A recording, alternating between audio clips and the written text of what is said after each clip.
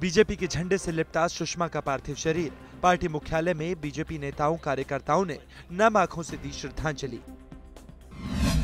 सुषमा स्वराज को प्रधानमंत्री मोदी ने दी श्रद्धांजलि। पार्थिव शरीर, देख हुए भावुक।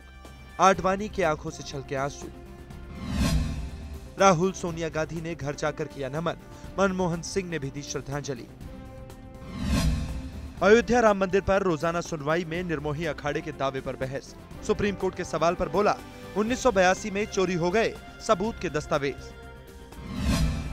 लोन हो सकता है और सस्ता। आरबीआई ने लगातार चौथी बार रेपो रेट में की कटौती 2010 के बाद सबसे निचले स्तर पर।